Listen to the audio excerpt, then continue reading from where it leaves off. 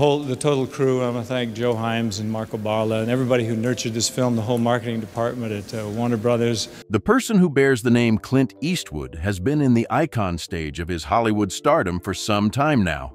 The name Clint Eastwood has become a household name. In May of 2023, he celebrated his 93rd birthday, and he is able to boast of success in front of and behind the camera throughout his career which began in the 1950s and continues up to the present day. Eastwood's work has been both controversial and well-liked throughout his career, beginning with his early days as an actor and including his breakthrough roles, and continuing with his more recent acclaim as an Oscar-winning film director. Without a doubt, he has amassed a filmography that is extremely powerful and impressive. In Hollywood, the well-known actor had to overcome a number of obstacles, but he quickly established himself as a name that deserves to be remembered. Who exactly is Clint Eastwood, and what kind of legacy does he come from? We invite you to join us as we uncover the life of Clint Eastwood, who, at the age of 93, finally admits what we had all already suspected. Clint Eastwood is a legendary actor, director, and film producer Ruth Sonier and Clinton Eastwood Sonier welcomed their son into the world on May 31, 1930 at St. Francis Memorial Hospital in San Francisco. He went on to become a legendary actor. Ruth was known by the surname of her second husband, John Belden Wood, during the time that her son was famous. She married John Belden Wood after Clinton Sr. passed away to become her second husband.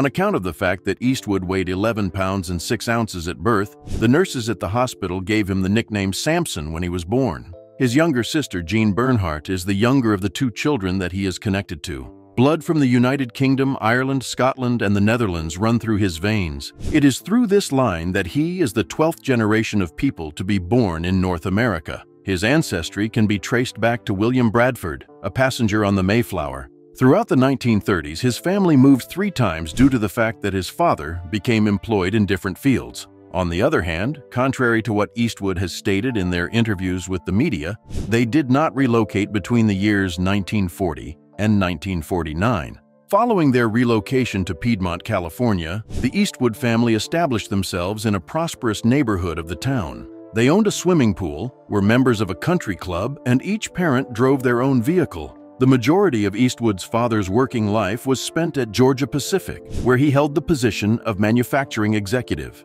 Ruth settled down at IBM, where she worked as a secretary. As Clinton Jean grew older, Eastwood went to Piedmont Middle School, but he was not allowed to further his education because of his poor academic performance. According to his records, he was also required to attend summer school. He attended Piedmont High School from January 1945 until at least January 1946, but he was asked to leave because, in addition to other school infractions, he wrote an offensive suggestion to a school official on the scoreboard of the athletic field and burned an effigy on the school lawn. After transferring to Oakland Technical High School, he was supposed to graduate in the middle of the year in January 1949. However, it is not entirely clear whether he actually did graduate. It has been brought to the attention of the biographer Patrick McGilligan that the records of high school graduation are a matter of strict legal confidentiality. Before deciding whether or not to be interviewed, Eastwood's school principal was required to make a call to his management,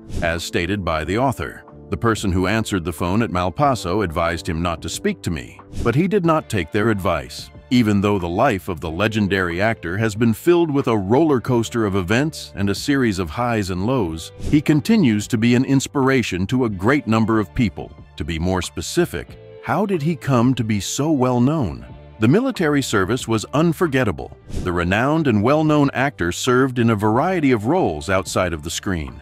Additionally, he had served in the military prior to that. It was during the Korean War that Eastwood was drafted into the military in the year 1951. In the city of Fort Ord, California, he worked as a swimming instructor. He was a passenger on a Navy AD-1Q torpedo bomber that experienced engine problems and crashed off the coast of California near Point Reyes, which is not too far from San Francisco. Both he and the pilot made their way to the shore in the icy water which was two miles away. This real-life event served as a precursor to his role as Frank Morris in the film Escape from Alcatraz, which was released in 1979. In the film, he and two other men escape the penitentiary that is located on Alcatraz Island by swimming away in the waters of San Francisco Bay, which are extremely cold. During the year 1953, Eastwood was discharged from the military with his honor. It was a difficult path to stardom. In the course of his pursuit of a career in the entertainment industry, Clint Eastwood encountered a great deal of difficulty, which made his path to stardom anything but smooth. When he entered the world of acting for the first time, he had a difficult time securing roles and gaining recognition. Following his discharge from the military, he began his career as a lifeguard on the beach. However, his aspirations eventually led him to pursue other opportunities. After completing his studies at the department in Los Angeles, the young man went on to conquer the big city and enroll in college there. At the same time, he did some part-time work in order to have something that he could rely on. By day, he worked as a manager in a house in Beverly Hills where he rented a flat, and by night, he worked at a gas station. He was able to maintain both jobs simultaneously. Clint made the decision to begin his acting training after receiving recommendations from his friends from the military. After some time had passed, he recalled that he had been completely blown away by arguments that some actresses were the most beautiful girls in the world. Additionally, during this time, Clint participated in a number of auditions, participated in self-produced theatrical performances, attempted to write scripts, and harassed film companies in the hopes of signing a contract with one of them. Irving Glassberg, a cinematographer working for Universal Studios, was the first person Clint met. At the gas station, he extended an invitation to the young man to accompany him to a meeting with director Arthur Lubin. The future star benefited from having a stunning appearance and a rapid growth rate. In spite of the fact that he had very little acting experience, he was able to pass the screen tests and sign a contract with the studio.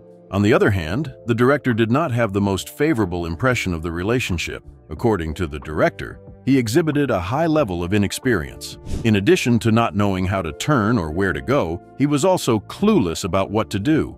Because of this, the most important requirement for signing the contract was to take acting classes. A modest payment of $100 per week was also offered to Clint, although some sources claim that it was only $75. Despite this, it was sufficient for him to relocate to a new apartment that was located closer to the studio. In addition to the young man, the house was occupied by other aspiring Hollywood actors, which allowed him to make new friends and acquaintances. A similar lack of success was experienced during the initial gathering with the other members of the studio staff. It was a test that Clint had to pass, and it required him to repeat the monologue that Alan Squier had delivered in the film Petrified Forest, which was released in 1936.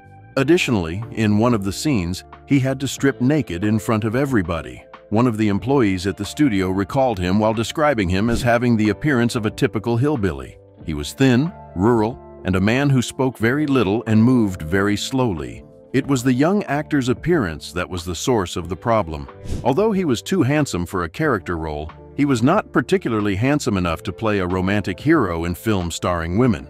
It was common practice for the studio to employ boys like Clint in order to fill the space on the screening screen. After they allowed him to watch the tape of the audition, he came to the conclusion that he did not have a very good appearance. In addition to a lack of experience, Eastwood's work was negatively impacted by his poor reputation within the studio. It was in low-budget films with low honorariums that he was cast in supporting roles. Among them were films such as Away All Boats in 1956, Revenge of the Creature, Francis in the Navy, and Tarantula, all of which were released in 1955.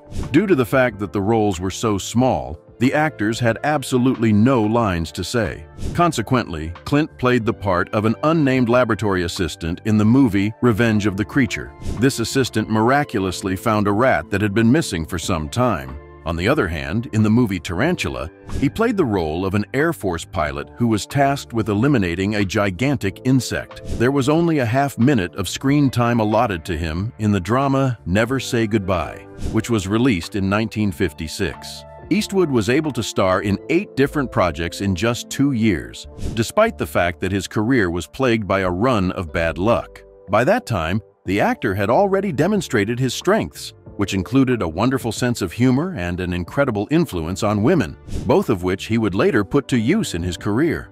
However, up until this point, Clint has been unable to successfully transfer those qualities to his characters.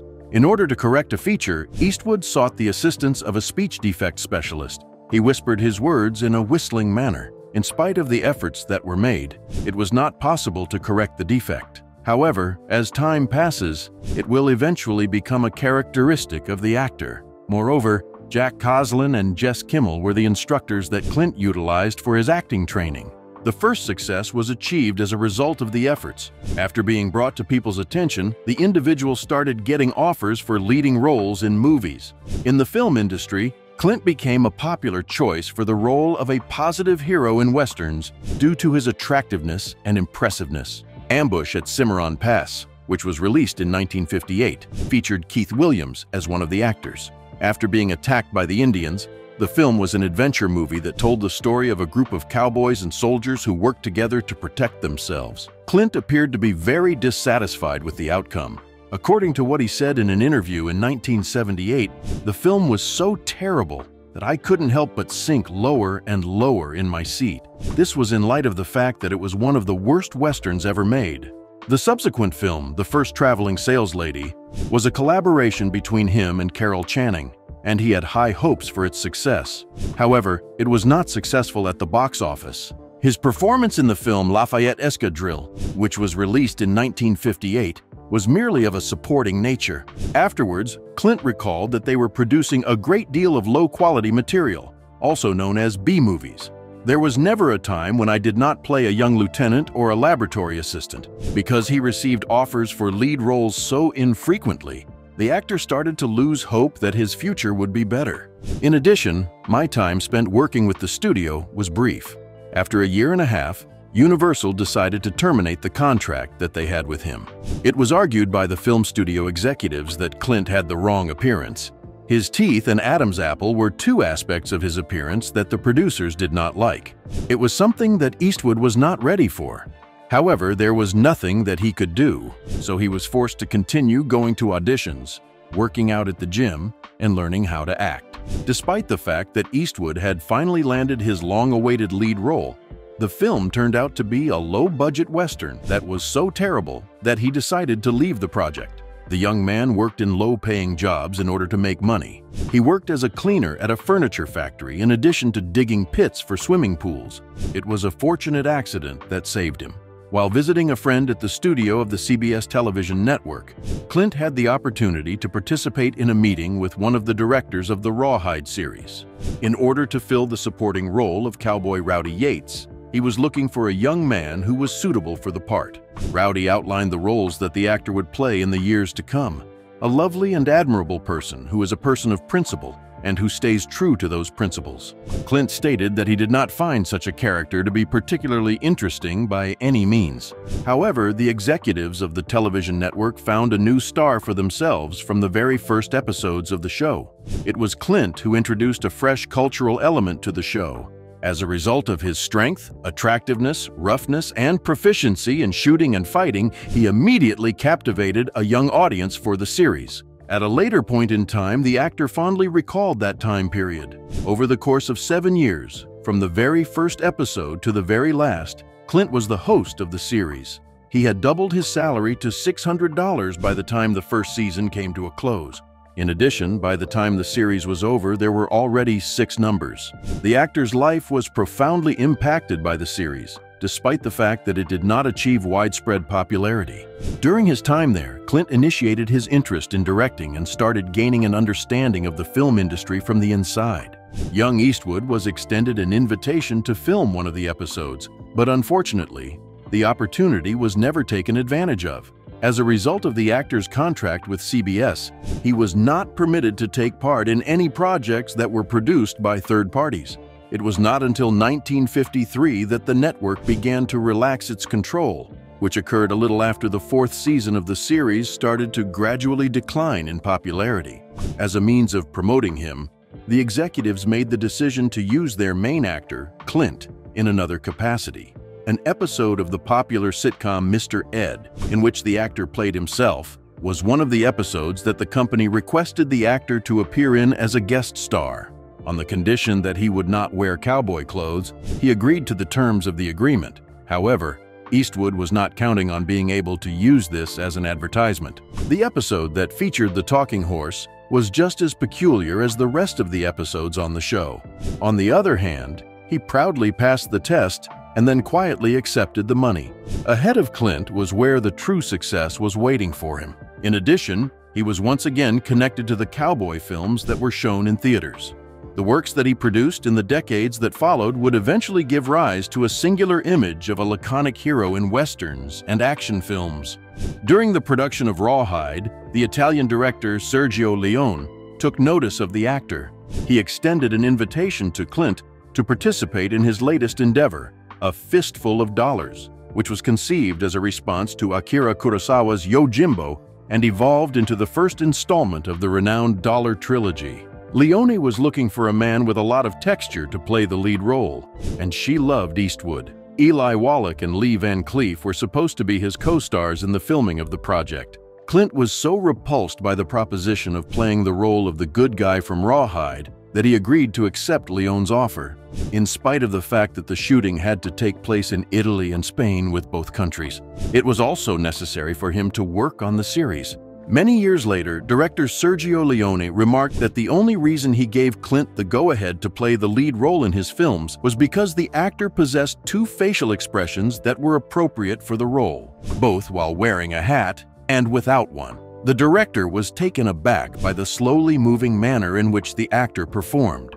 Throughout the entirety of the production of the trilogy, the actor wore the same poncho throughout the entire process, and throughout that time, he refused to let anyone wash it. His use of it was similar to that of a talisman. A Fistful of Dollars was the first movie ever made, and it was released in 1964. The movie was a huge hit in Europe and the United States of America, despite the fact that it was subject to allegations of plagiarism in Asian countries. Despite having a budget of $200,000, it was able to earn $14 million and helped to establish a subgenre known as spaghetti western. Around the same time, Clint became famous for the first time. As a result, it should not come as a surprise that they produced two sequels a few years later, for a few dollars more in 1965 and The Good, the Bad, and the Ugly in 1966. The figure of the protagonist served as a unifying presence across all three films. While wearing a poncho, cowboy boots, a cigarillo in his mouth, and a morality that is questionable, he remained silent. The melody that serves as the film's primary motivation is widely regarded as one of the most recognizable melodies in the history of cinema. The actor's life was drastically altered as a result of this experience. A lawsuit was filed against Leone in the future because the film was so similar to the source material. It should come as no surprise that the correlation between the details is so strikingly accurate an image of a solitary warrior, a montage rhythm and structure of action that is comparable to the previous one. As a result, fights start with a lengthy and tense wait, during which the camera focuses on every movement and look of the competitors. By the way, Kurosawa prevailed in the court case, and as a result, he was awarded $100,000 and 15% of the box office. However, the effort was well worth it, it was Sergio Leone and Clint Eastwood who made a significant contribution to the image of the Western genre, which had been on the verge of extinction by the early 1960s. They came up with the concept of a traditional Puritan hero who wears a hat and rides a horse. This hero is a complex of unambiguous positive qualities and well-established cultural cliches. There are a few different names that are suggested for Eastwood's character by other characters throughout the course of the trilogy. As a result, he is referred to as the man who does not have a name in the movie. Empire magazine ranked him as the 43rd greatest cinematic character of all time in the year 2008. While this was going on, his private life was in a state of active instability. Eastwood has always been able to attract the attention of a large number of women due to his height and physique, and he did not pass up the opportunity to make use of this. When he was mentioned in the media, the word womanizer was always used in conjunction with his name. When viewed from a different angle, Clint Eastwood has garnered a notorious reputation due to the fact that he has been involved in a number of relationships throughout his life. These relationships have been the focus of interest and scrutiny. Throughout his romantic life, he has been involved in a number of significant affairs and has fathered children with a variety of different women. There was a lot of controversy surrounding the director. When he first walked down the aisle to marry Maggie Jones in 1953, the legendary actor hadn't even reached the age of 23 yet. During the time that Eastwood was subsequently able to achieve fame and fortune in Hollywood, there are reports that indicate that he was not a faithful husband. In point of fact, Eastwood did admit to a biographer that he was still seeing other women during the time that he was dating the woman who would eventually become his wife.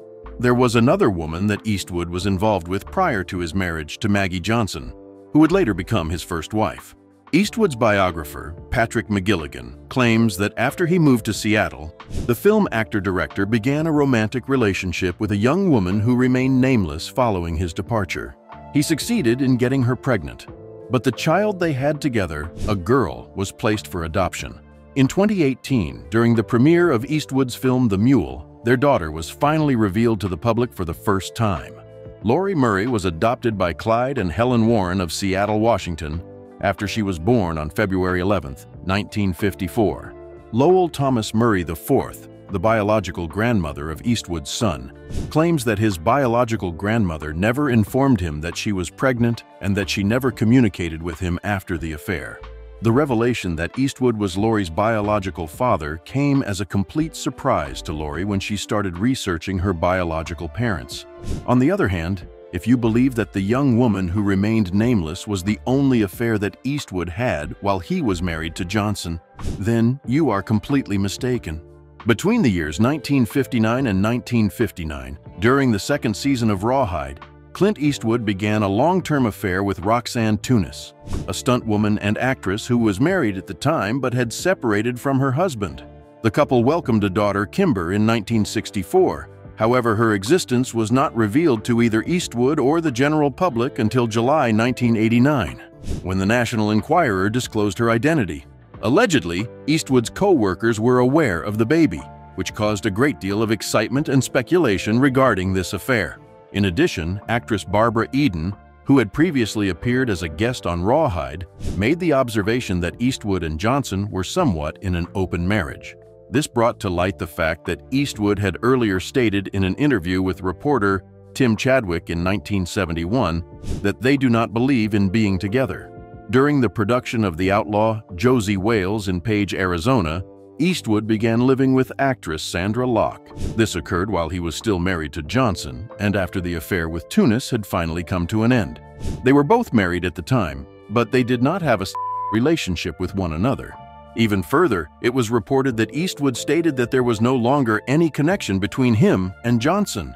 On the other hand, Locke was married to her best friend who was openly Gordon Anderson. However, the marriage was a marriage of convenience that was never consummated. The two of them lived lives that were like two pieces of a puzzle that fit together in an odd way. In spite of the fact that he had never been able to have a relationship with a single woman, Eastwood admitted to Locke that he was surprised by his need for her. She Made Me Monogamous is the name of the song that the actor made about the situation, which he also made up without any shame. Even though he was rumored to have been in a relationship with Tunis for 14 years, this was in no way comparable to his previous relationships. Despite the fact that they did not have any children, the couple had two abortions, and Locke underwent tubal ligation in the late 1970s at the same time. The unsettling aspect is that Eastwood was still secretly maintaining several maintenance relationships even while they were living together. This is something that is very concerning. It should come as no surprise that their relationship gradually deteriorated after Eastwood had finally divorced Johnson, but Locke continued to be married to Anderson. If Eastwood had agreed to participate in couples therapy with her, Locke claims that she would have been willing to divorce Anderson. However, he did not agree to participate in the therapy. During the ugly breakup that occurred in 1989, Locke filed a lawsuit against Eastwood for palimony. The lawsuit was filed after Locke claimed that Eastwood had changed the locks on their home and removed all of her belongings. Despite the fact that they reached a settlement, she obviously did not have enough money because she filed a lawsuit for fraud once more in 1995, which they settled out of court. Clint Eastwood had an affair with flight attendant Jocelyn Reeves while he was maintaining his relationship with Sondra Locke. As a result of this affair, he became the father of two children, Scott in 1986 and Catherine in 1988. In 1990, the affair was brought to the attention of the public by the Star tabloid. During the same time period, Eastwood started a romantic relationship with Frances Fisher, an actress whom he had discovered while working on the set of Pink Cadillac. The year 1993 saw the birth of their daughter, Francesca, but the year 1995 marked the end of their relationship. During the time that he was directing American Sniper, Eastwood was also involved in political controversy. Eastwood maintained that the film was a portrayal of the realities that soldiers face without any political bias despite the fact that some critics accused the film of glorifying war. In addition, Eastwood was subjected to public scrutiny for what was perceived to be his support of Donald Trump. However, in the year 2020, he clarified that he was actually supporting Michael Bloomberg. His political views have frequently been misunderstood, which has frequently resulted in confusion and debate. In the book titled Clint, the Life and Legend, written by Patrick McGilligan, Clint Eastwood is portrayed as a figure who has a strong desire to exert control over others and frequently goes to great lengths in order to preserve his position of authority. His reputation for terminating contracts with employees who challenged his control is well documented. In fact, one producer even made the remark that a gathering of those whom Eastwood had wronged would have to take place in the Los Angeles Coliseum. Eastwood, in spite of this portrayal, refuted such claims in an interview with CBS. He stated that he valued collaboration and did not seek total control, citing his work on Million Dollar Baby as an example. When Eastwood was serving in the Army, he had the opportunity to purchase land in Carmel, California, which was the beginning of his real estate endeavors. A number of significant properties, such as the 283-acre Malpaso land, which he eventually sold to Monterey County, and the 134-acre Odello Ranch were among the properties that he acquired over the course of his life.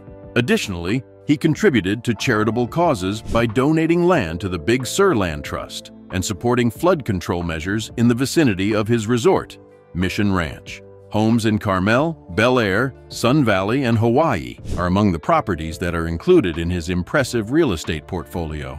The fact that Eastwood's real estate holdings span multiple states and luxurious properties is a reflection of his success in both the business world and the entertainment industry.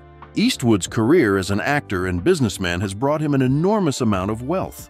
By clicking on the link that is currently displayed on your screen, you will be able to view yet another video that is very interesting. We will meet again on the other side.